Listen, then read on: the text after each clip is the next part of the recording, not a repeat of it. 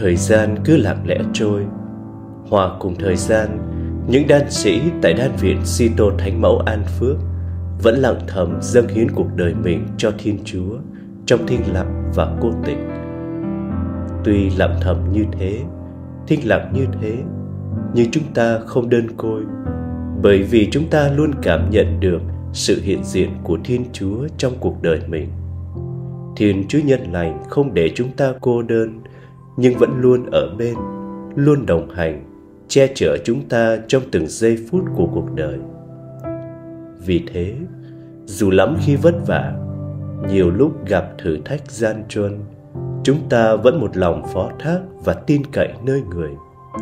Thiên Chúa là người cha nhân lành, sẽ luôn nâng đỡ chúng ta bằng ân sủng của người. Những ân sủng ấy luôn chan chứa, đong đầy trong từng giây phút khoảnh khắc nào trong năm cũng ngập tràn ân sủng Chúa. Vì thế, tưởng chừng như đời sống đan tu sẽ nhàm chán với nhịp sống đơn điệu.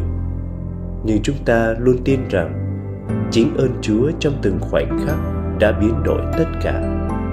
Sẽ chẳng có giây phút nào giống giây phút nào, bởi vì giây phút nào cũng có ân sủng riêng cho giây phút đó.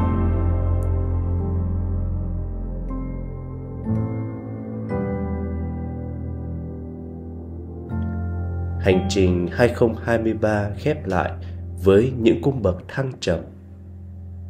Chắc chắn rằng 2023 sẽ là một cột mốc mà chúng ta hằng ghi nhớ bởi những kỷ niệm, những bài học, những trải nghiệm và kinh nghiệm mà chúng ta gặt hái được. Chúng ta cảm tạ Chúa về tất cả. Chúng ta tri ân Chúa và cảm ơn mọi người về tất cả những gì đã qua đó sẽ là hành trang cho chúng ta bước vào tương lai, bước vào những con đường mới với những ân sủng mới.